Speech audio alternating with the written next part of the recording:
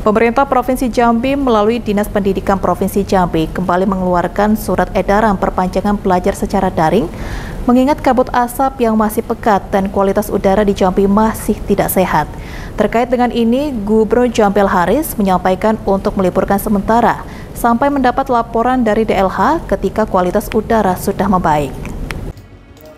Kabut asap yang melanda wilayah di Provinsi Jambi membuat kualitas udara saat ini masih dalam kategori tidak sehat, sehingga membuat pemerintah Provinsi Jambi melalui Dinas Pendidikan Provinsi Jambi kembali mengeluarkan surat edaran perpanjangan belajar daring kepada siswa-siswi SMA, SMK, dan SLP per 4 Oktober. Dalam surat edaran tersebut dijelaskan bahwa satuan pendidikan membuat laporan kegiatan pelaksanaan KPM secara daring Hal ini disampaikan terkait antisipasi karhutla dan kualitas udara yang memburuk di Provinsi Jambi.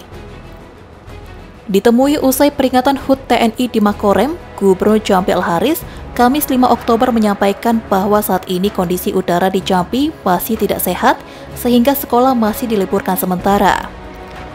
Dirinya memastikan jika nanti mendapat laporan kualitas udara sudah membaik dari DLH, maka akan segera merubah status surat edaran tersebut. Sekolah karena laporan dari DLHD bahwa memang kondisi uh, cuaca kita itu belum sehat atau cua, uh, apa udara Jambi belum sehat maka kita masih meminta kepada pihak sekolah untuk libur sementara. Kalau hari ini laporan BLHD kondisinya sehat, saya akan segera merubah statusnya. Ya, oke. Okay. Rian Cencen, Suci, Cek TV, melaporkan.